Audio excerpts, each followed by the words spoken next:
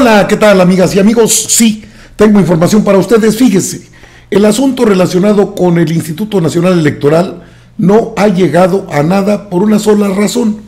Los actores principales están pues preocupados en sus propios asuntos personales.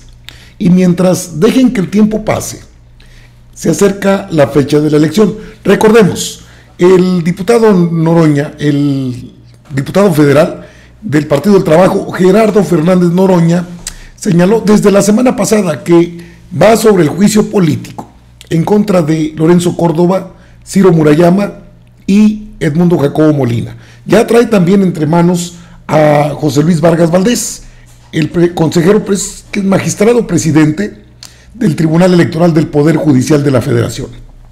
Preocupa el tema del INE, por supuesto. Deben terminar con ese, no con el instituto como tal, sino sacar las manzanas podridas que son varias. No solo son estos dos y el secretario ejecutivo.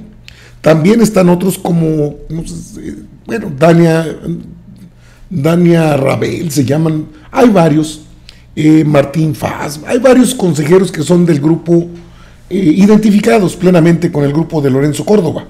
El INE los 11 consejeros son, forman dos bloques y uno de ellos está a favor de Lorenzo Córdoba.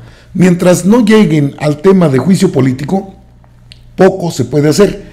El, pues no hay otra manera de contactar a Gerardo Fernández Noroña si no es a través de sus redes sociales.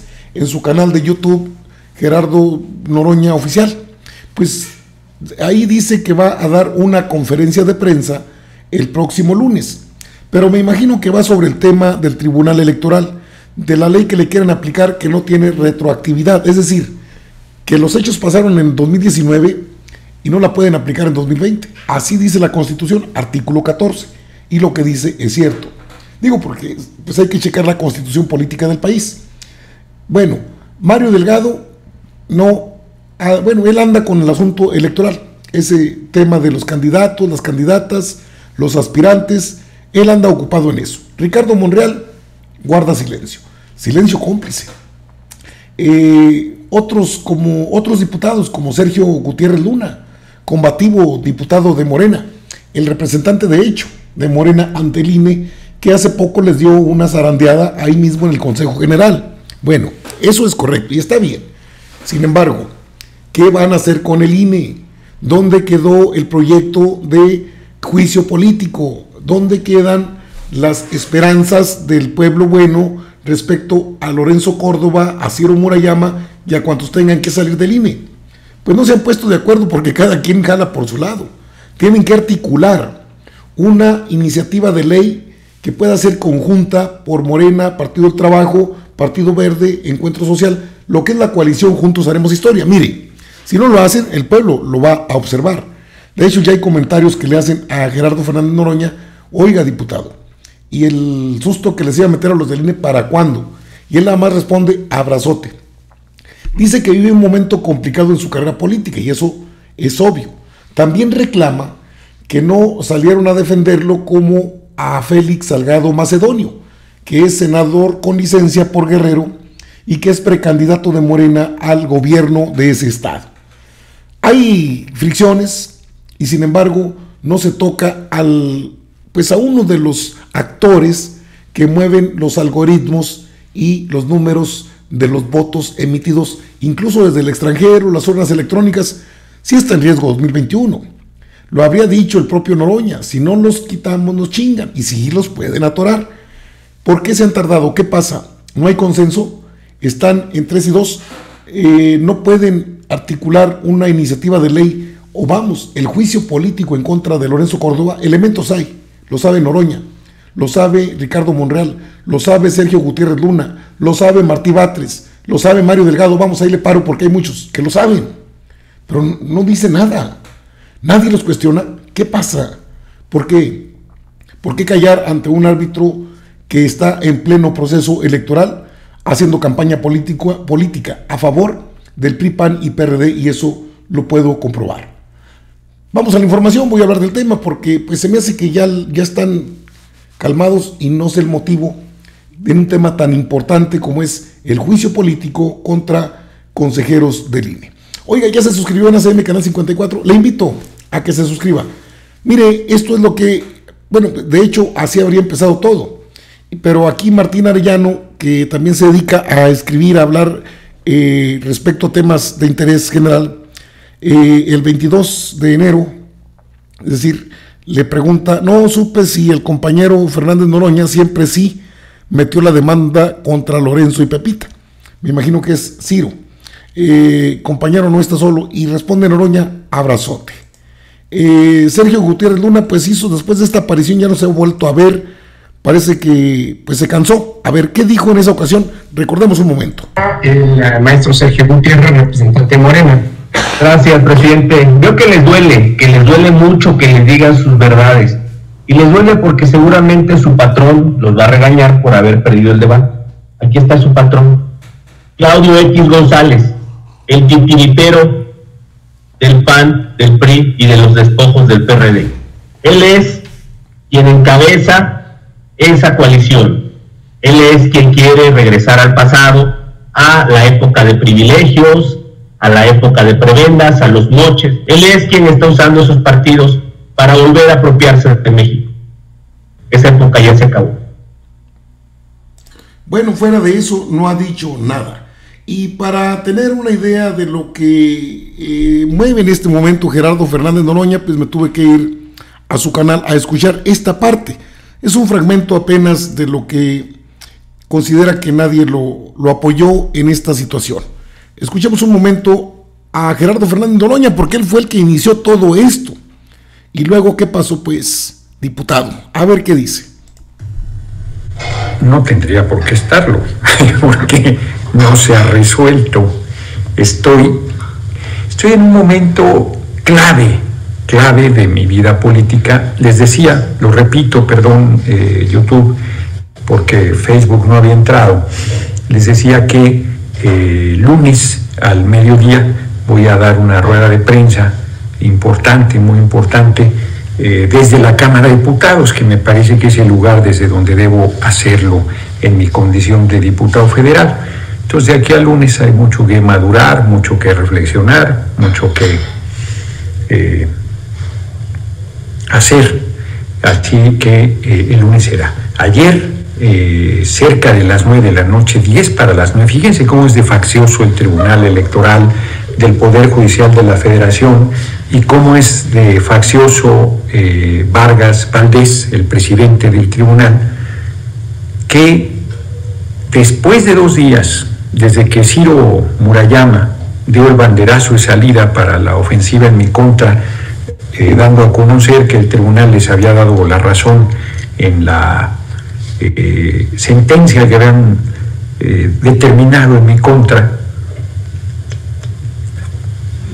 sin tener facultades para ello los consejeros del INE, eh, se soltó toda la jauría, han dicho cualquier cantidad de barbaridades, celebrado la supuesta violencia política de género. Aquí tienen ustedes al chacal de la violencia política de género, ¿no?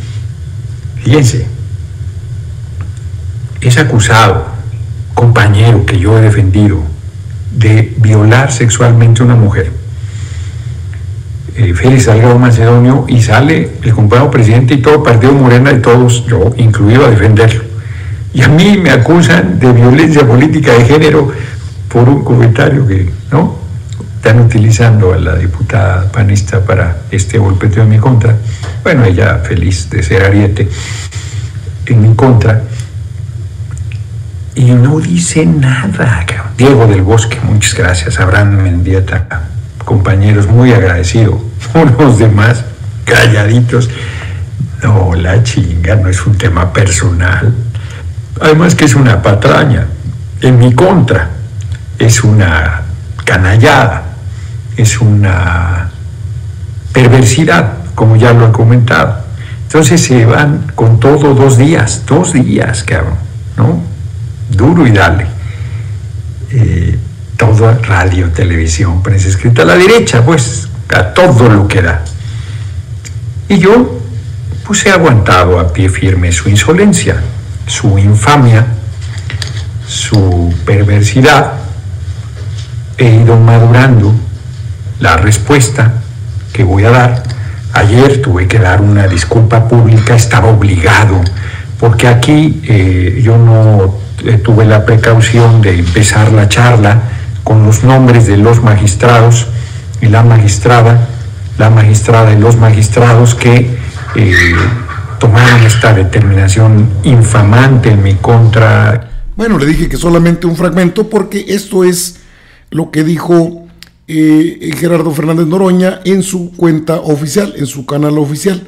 Está usted viendo en pantalla lo que ha comentado. Eh, muy vagos eh, sus comentarios, no ha entrado al tema.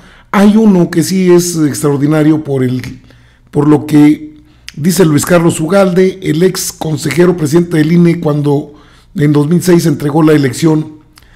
Aquí está el artículo 14, por cierto cuando entregó la elección a Felipe Calderón Hinojosa. Muy bien, pero fuera de esto no ha dicho nada, nada tampoco el diputado. Será el lunes, eh, quizás cuando fije una postura, será sobre el Tribunal Electoral o será eh, finalmente contra también el INE. Mire, aquí está lo, de, lo del INE. Bueno, Luis Carlos Ugalde es un agorero de la derecha, eso queda claro lo que señala el diputado Noroña, y me parece de principal importancia, es por qué sí defendieron a Félix Salgado Macedonio y por qué a mí me dejan tirado al, ruedo. O sea, como que nada más algunos, como Diego del Bosque, citó a dos personas y los demás, ¿dónde estaban? O sea, cuando se impone el interés colectivo, y esto pues es válido para todo político que se jacte de querer un puesto de elección popular, eh, Gerardo Fernández Noroña busca una reelección como diputado federal. Sería incluso eh, entre sus aspiraciones está el ser candidato en 2024. Lo ha dicho abiertamente. No descubro el hilo negro. Bueno, ¿y cuáles son los eh, entretelones de todo esto que ha evitado llegar a pedir el juicio político en contra de Lorenzo Córdoba y de Ciro Murayama? ¿Cuáles son los problemas insalvables o que no se han dialogado lo suficiente? Pues lo que le decía, todos conocen el tema, pero nadie le quiere poner el cascabel al gato. No sé por qué le tienen tanto temor, porque eso ya no es respeto, es temor, al Instituto Nacional Electoral. Si saben que los va a reventar, si lo saben, lo sabemos nosotros, usted debe saberlo, yo lo sé, muchos medios de comunicación obviamente lo saben. La consigna del INE es sí o sí gana eh, la coalición de Claudio Jicotenca González Guajardo.